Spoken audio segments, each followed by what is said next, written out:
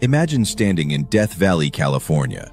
Massive rocks leave long trails behind them. They seem to move on their own. What force pushes these heavy boulders across the desert? Welcome to the Sailing Stones of Death Valley. Scientists first noted these stones in the early 1900s. Local Native American tales hinted at odd forces before that. For decades, researchers wondered how these 700-pound stones moved without any witnesses. Death Valley is unique. It's the hottest spot in North America, yet has cold winters and occasional rain. The stones glide across the racetrack playa, a dry lake bed of cracked mud. When it rains, the playa floods and then freezes overnight. This creates thin ice sheets. Scientists believe this ice held the mystery of the moving stones. Wind, earthquakes, and animals were examined, but no evidence emerged. Then, in 2014, Richard Norris and his team used GPS trackers to study the stones directly. They waited for winter rains followed by freezing temperatures.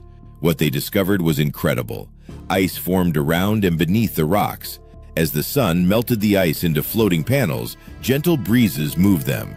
The rocks glided on ice rafts, leaving visible trails behind. This series of events needs flooding, freezing, thawing, and wind, which explains its rarity. Here's how it works. Rain floods the playa, creating a temporary pond. Freezing temperatures form ice sheets.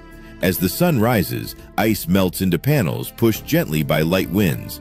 This delicate process shows nature's wonders. It reminds us that mysteries can be solved with curiosity.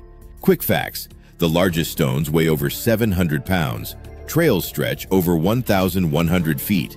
The racetrack playa is among the flattest places on Earth stones move slowly, just inches per minute.